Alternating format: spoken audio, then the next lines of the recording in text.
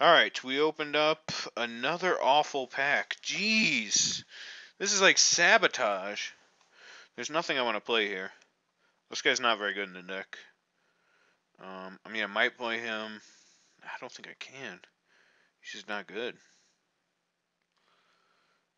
I could just hate this, I guess. I guess I'll take this guy. That's a two awful packs we've had to open up now. Not very happy about it. All right, here's a real pick. We have Ember Beast. Um, he's pretty good now that we have four two drops. Uh, Scorchwalker is not really consideration. Wasteland Viper and Pit Fight are though, and then we'll hope to wheel Scorchwalker. Um, Wasteland Viper is possibly the pick. We have the first strikers. It works really well with them. He's another one drop. He's pretty good with armored transport. Ember Beast I could see, but I do have a lot of three jumps. I think I'm taking the Wasteland Viper. Well, uh, here I think we have to take Madcap skills.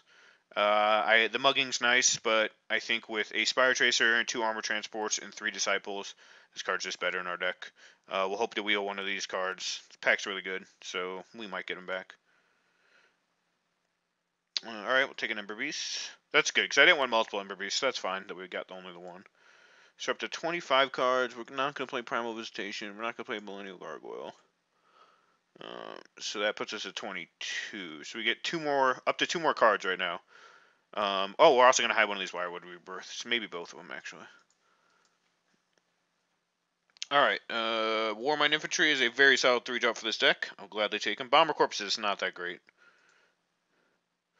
Um, nothing for us here. This guy's not very good in our deck. We don't have a lot of red cards. But I could take this. I don't think I would play it. It's not going to be good in my deck. I'll just cack that.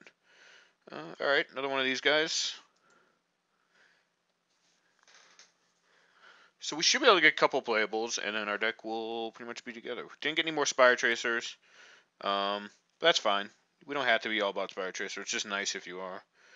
Mark for Death is not great, but there's also, or I shouldn't say, but there is also Boros Guildgate we could take if we're going to expect to get another Greenside Watcher back.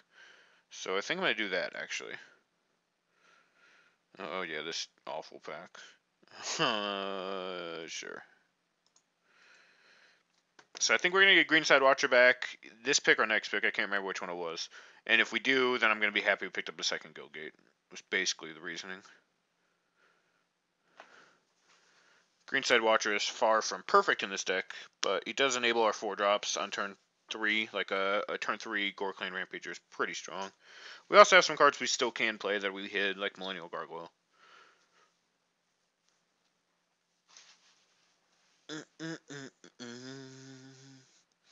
So a little bit slower than I'd like, but we have pretty solid three drops and two drops. We just didn't get the Spire Tracer centric build.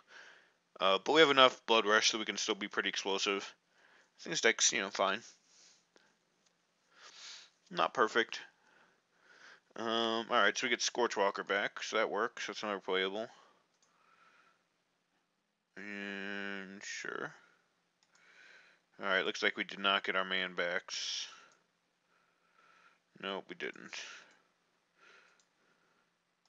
That's alright. We got a Scorchwalker. Not the best wheel, but it's acceptable. Um, we might play 17 lands in this deck, just because we don't have as much of a one-drop centric deck. We'll see. I think I'm playing that guy.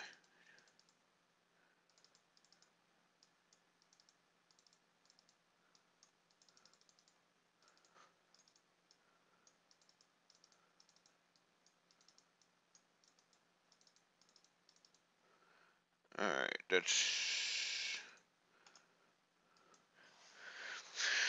That's 24. Um, cards I could cut are Wildwood Rebirth, Hellraiser Goblin. I actually think Hellraiser Goblin is decent because of these cards. I think I could still get away with 16 lands. Literally every single card over here has um, Blood Rush for three or less. And I have the Greenside Watcher, which helps a little bit. Yeah, I think I'm going to. I'm going to play Gruul Guildgate. Um, I think we're going to go 8 7 in favor of Forests.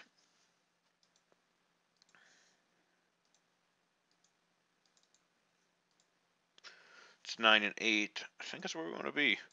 I could see the argument for running 17 lands, but I think really when you just look at it like this, when you move all these guys, let's adjust them. Um, this guy's a 1. When you look at it like that, all of a sudden it looks a lot better um, in terms of curve for 16 lands. Plus, like I said, we do have this green, or not that good, the Greenside Watcher, which could be a land. Um, because basically the only way to lose with Gruul, I mean, our Gruul deck's not perfect, but the, the number one way to lose with it, a, a solid deck like this, is to Mana Flood, because the deck just can't afford it. Luckily, we have Rubble Hulk to kind of help if we Mana Flood, but I would still rather avoid it if possible. And we hated a couple of decent cards against us, but there's definitely a lot of solid decks out there. Woo.